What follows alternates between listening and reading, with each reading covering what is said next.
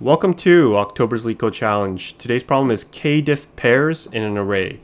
Given an array of integers and an integer k, return the number of unique k-diff pairs in the array.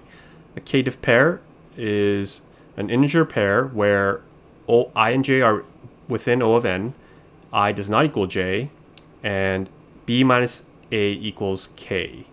Uh, I don't know why they had to make it so complex. Like really, this is just a two-sum problem all we care about is can we subtract one number from the other to get our target k. So knowing that, um, this problem is a little bit more tricky than you would expect, but let's just say that we could assume that k equaled some number like above zero, like one through whatever. Um, and if that was the case, how do we normally solve a two-sum problem? Basically, we create a hash, right? To get to do it in O of n time, we create some sort of lookup, and I'm going to use the counter object, insert our nums, and now we have a lookup to look up all the numbers that exist inside of our nums. So we'll initialize our count to start with zero, and what we'll do is say for key and value in c.items. All we need to do is just look up, can we find its pair, right? So if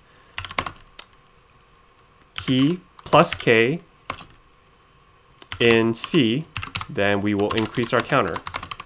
And the reason we only increase it by one is because we only want to find the unique ones, right? And that gets taken care of by this hash object, and we only want to increase it by one. So that would be it. This would work. But there's a problem here. What happens if our k equals zero? And that is a problem because, well, if k equals zero, here, for instance, we might look through it and think, okay, was one exist? Yep. Three exist? Yep. Um, and then we're going to get like an answer of, well, here we get four. One, two, three, four, five. There's five, but there's only four unique types, so we'd get the answer four. But that's not right. It should be only one because we see that one and one is the candidate pair. Okay. So what can we do here? Um, well, if this is the case, k equaling zero, what we really care about is to find the number of numbers that appear more than once inside of our array, right? So that's kind of different. It's not like we're looking for its candidate pair. Um, it is, but we just want to see, hey, does one appear more than once inside of our array? So let's just separate that from the other one. We'll just have a separate statement and say if k equals 0, We'll do it a little bit differently. We'll still go through K through V in C dot items, but we'll just say, look, if the value is greater than one, then increase our counter. Now, otherwise, just do it the normal way. And we'll do that inside of it, else right there. And this should work. Let's go ahead and submit that. Does not work. Oh, forgot items.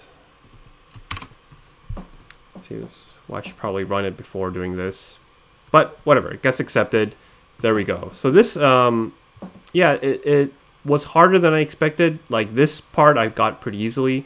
Uh, it took me a while to think of a way to take care of this zero cases. Like whenever I thought I solved one use case, I would have to return to another use case. And finally I realized look, if k equals 0, we just need a completely different algorithm. Otherwise, everything else we can do it this way.